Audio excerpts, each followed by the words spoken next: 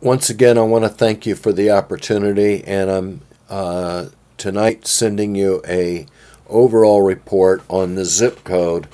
Um, still pulling numbers on the house, uh, but there's some things I wanted to show to sort of validate my um, text message to you. The first thing that uh, I'm going to quickly look at, and I'm going to breeze through this because I'm sending you the reports, but the month supply is at the bottom of the five year range. So the supply can't get any tighter than what it is right now. And that's on top of the fact that we've got listings, new listings, coming onto the market, but it's not enough to dent the month's supply. Median sales dollar is up. Median list price is up. Average days on market is down. Median days on market is down. And average sale to original price ratio is up. Uh, that number is about 97%. So on average, we're looking at a 3% discount of list to, for success.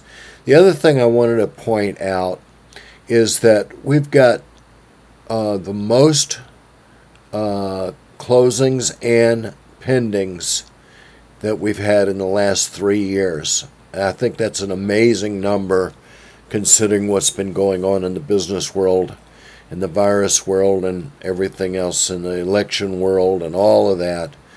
Business has been really good. Now let me shift over to some charts real quick for you. And again, you'll be getting these.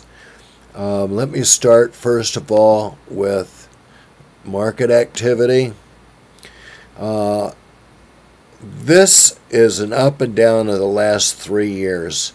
Um, but what we care about is this year, and the market activity is uh, way up. Again, validating what we already have talked about. And the days on market is quick. It's days on market has just taken a huge slump this year. And the main thing that I wanted to show you, whoops, is down here.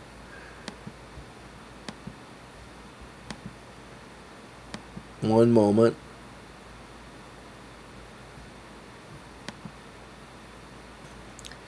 Here we go uh, the absorption rate let's do uh, let's actually do for closed sales. They're going to be basically the same. But look at the absorption rate. Um, this is an opposite number of uh, which you you probably already know all this stuff but I'm just bringing it up. Uh, this um, the number the, the inventory is down therefore the absorption rate is way up. And so uh, basically, all the numbers show that for zip code 33566, um, we continue to have a really good market since um, February of this year. It's been a runaway market since February of this year, both price, inventory absorption, everything. All right, I'm going to wrap this up. I know your time's valuable and uh, I'll get all these reports out to you. Thank you, sir.